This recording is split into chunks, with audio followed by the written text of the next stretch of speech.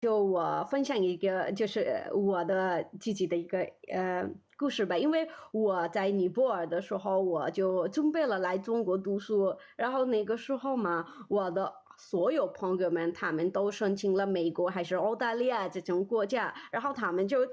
看我，他们每次会觉得你为什么这这样呢？哎，你就还可以去美国的，你可以去澳大利亚的，然后你有什么要为什么要去中国呢？然后，嗯。因为可能他们都不知道，他们都没来过这里，他们都不知道这边的。然后我以前也来过中国，所以我的就是是我很想再来中国再学习。但是我说了，他们也不懂，然后他们也很多时候会嘲笑我。但是那个时候我可能就一点点生气，但是又又想来，可能我就不要理他们吧，因为我知道我要做什么，我知道我想我想得到的是什么，然后我就没有。听他们的，还是过来这边。我过来这边还是很觉得我很幸运，然后也能学到很多东西。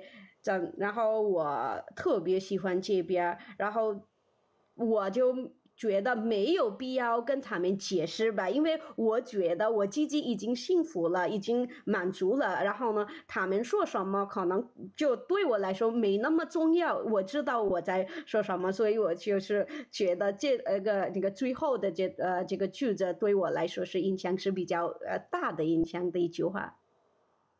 哦，谢谢安，谢谢四达。